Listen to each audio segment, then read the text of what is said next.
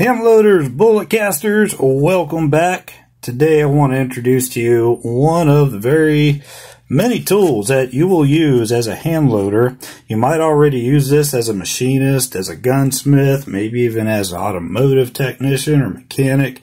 It's not just the hand loading world where you're going to use one. So this is called a digital caliper. It gives a digital readout, makes things pretty simple, uh, especially if you're not real familiar with these types of measurements.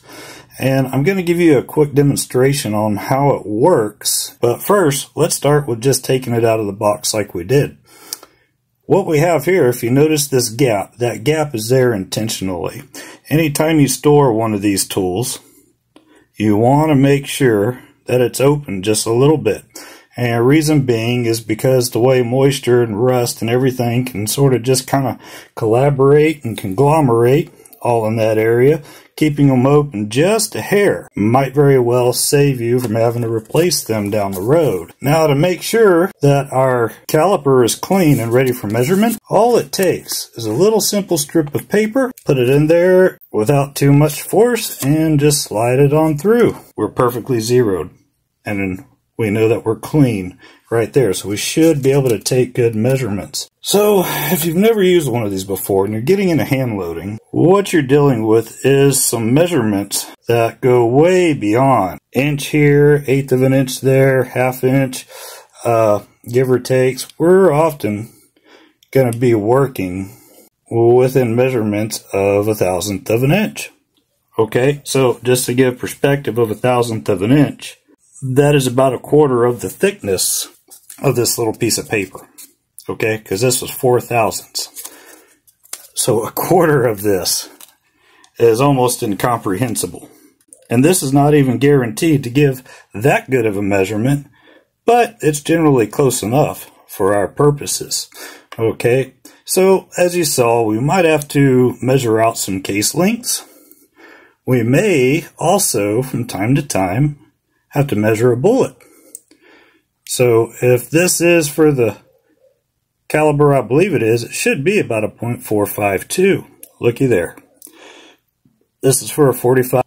Now, we might also have to measure the uh, overall length of an assembled round to make sure that we have loaded it properly. And this is easy to do because we have a flat point here. Uh, but yeah, so we got two inches.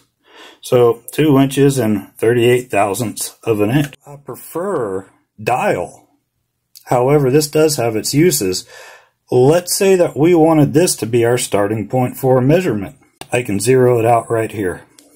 This is now my zero point. From this on, I can check and see if maybe this other round, well, this other round is 55 one thousandths of an inch.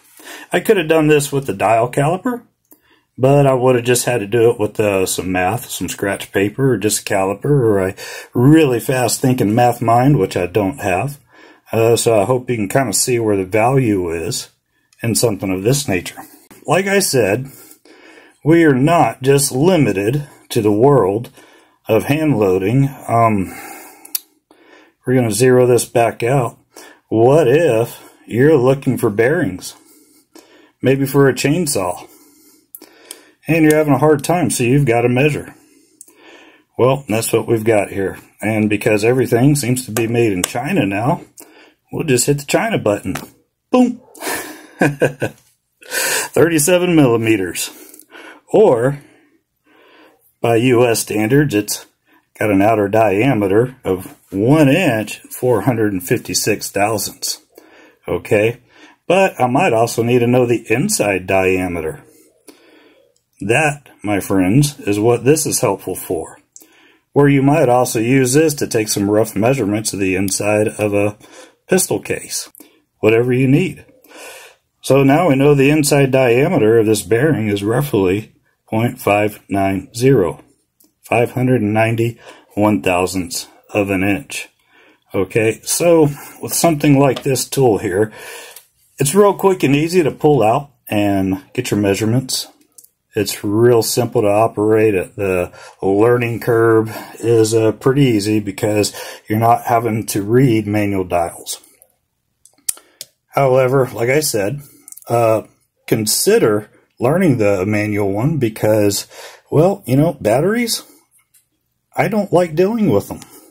And I know that as soon as I put a fresh battery in here, most likely I'm going to end up leaving this thing in a toolbox for a year, not use it, and then I'll come back and it's corroded. so that being said, I tend to uh, make it a point to try to take the batteries out, but that one's going to fuss with me, so I'll do that off camera. I am going to speculate that I might have paid $35 for this, you know, 10 years ago.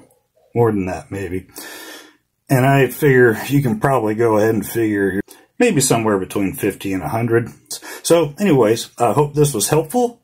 And I hope this is going to put one more little feather of knowledge in your hat to get you off to good hand loading. All right, folks, thank you. God bless. And happy Thanksgiving.